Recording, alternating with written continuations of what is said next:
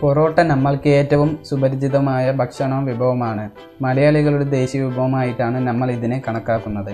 മലയാളികൾക്ക് എന്നും ഒഴിച്ചുകൂടാനാവാത്ത ഒരു ഭക്ഷണ വിഭവമാണ് പൊറോട്ട. നല്ല നാടൻ പൊറോട്ടയും ഇറച്ചിക്കറി എന്നും നമ്മുടെ നാവിൽ വെള്ളമുണ്ടാക്കുന്നു.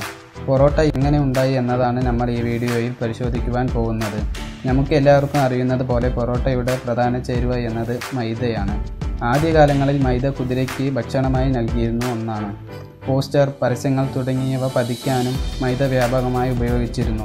എന്നാൽ പശപശപ്പുള്ള മൈദ ഭക്ഷ്യയോഗ്യമാണ് എന്ന് കണ്ടെത്തിയതിനാൽ അവ ഭക്ഷണ വിഭവങ്ങൾ ഉണ്ടാക്കാനായി ഉപയോഗിക്കുവാൻ തുടങ്ങി.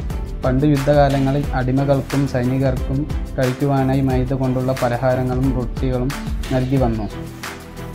ശരിക്കും പൊറോട്ടയുടെ ജന്മദേശം ശ്രീലങ്കയാണെന്നാണ് കരുതപ്പെടുന്നത്. അവിടെ നിന്നും വന്നവരാണ് ഈ വിഭവം കേരളത്തിലേക്ക് കൊണ്ടുവന്നതെന്ന് പറയപ്പെടുന്നു. ആദ്യകാലങ്ങളിൽ ഗോതമ്പും നെയ്യും ഉപയോഗിച്ചാണ് പൊറോട്ട നിർമ്മിച്ചത്. എന്നാൽ പിന്നീട് അവയ്ക്ക് പകരം മൈദ എണ്ണ തുടങ്ങിയവ ഉപയോഗിക്കാൻ തുടങ്ങി. പിന്നീട് നിർമ്മാണത്തിലും ചേരുവകളിലും പരിണാമം സംഭവിച്ച് പലതരത്തിലുമുള്ള പൊറോട്ടകൾ നിലവിൽ വന്നു.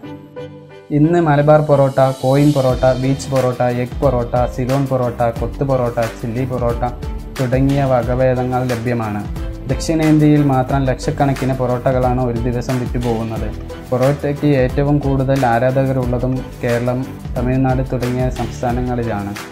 ഇന്ത്യക്കാർക്ക് പുറമെ പാകിസ്ഥാൻ ശ്രീലങ്ക തുടങ്ങിയ പ്രദേശങ്ങളിലും പൊറോട്ട വ്യാപകമായി ഉപയോഗിക്കുന്നു. മൈദയിൽ ചേർക്കുന്ന ബെൻസോയിൽ പെറോക്സൈഡ് മീഥൈൽ ബ്രോമൈഡ് എന്നീ രാസവസ്തുക്കൾ ശരീരത്തിന് ദോഷം ചെയ്യുന്നു എന്നത് ശ്രദ്ധിക്കേണ്ട കാര്യമാണ്. സ്വാദിഷ്ടമാണെങ്കിൽ കൂടി ഇവ നമുക്ക് ദോഷകരമാണ്. ഈ വീഡിയോ നിങ്ങൾക്ക് ഇഷ്ടമായെങ്കിൽ ലൈക്ക് ചെയ്യുക ഷെയർ ചെയ്യുക ഈ ചാനൽ സബ്സ്ക്രൈബ് ചെയ്യുക. താങ്ക്